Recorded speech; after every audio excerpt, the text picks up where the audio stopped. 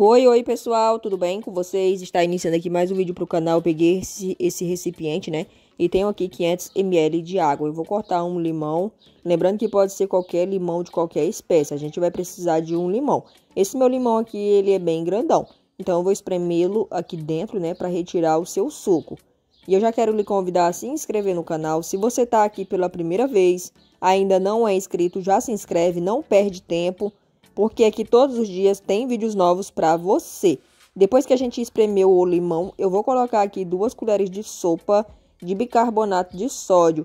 Bicarbonato de sódio junto com limão, gente, ele tem um grande poder de branqueamento, né? De tirar manchas, tirar aquele amarelado e encardido.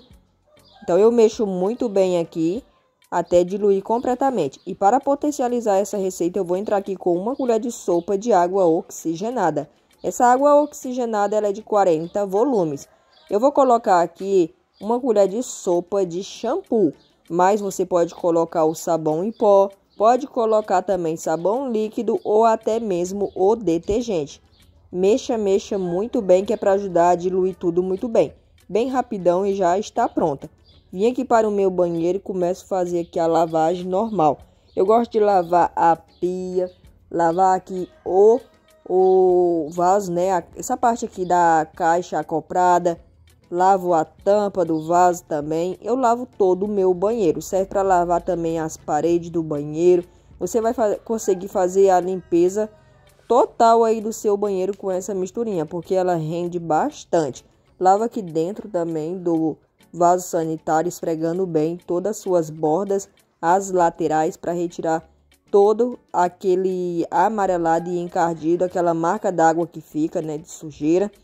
Joga aqui também pelo piso e esfrego muito bem com a vassoura.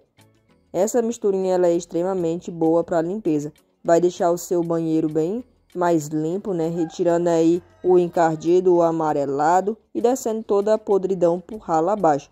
E eu venho agora somente com o pano fazendo aqui, né, o secamento. Eu vou secando aqui o piso para não deixar banheiro molhado. Eu não gosto de deixar banheiro molhado, quando eu lavo eu já seco. Então eu vou passando aqui o pano por toda a parte até que eu perceber que ficou seco. E esse é o resultado, gente. Olha, o vaso ele ficou bem limpinho, branquinho. E sem falar que vai retirar também o mau cheiro, até porque limão com bicarbonato ele tira mau odor. E esse é o resultado extremamente limpo aí, o seu banheiro perfumado. E é isso, pessoal. Esse foi o nosso vídeo de hoje. Espero muito que vocês tenham gostado. Se você gostou, já compartilha. Fiquem todos com Deus e até o nosso próximo vídeo.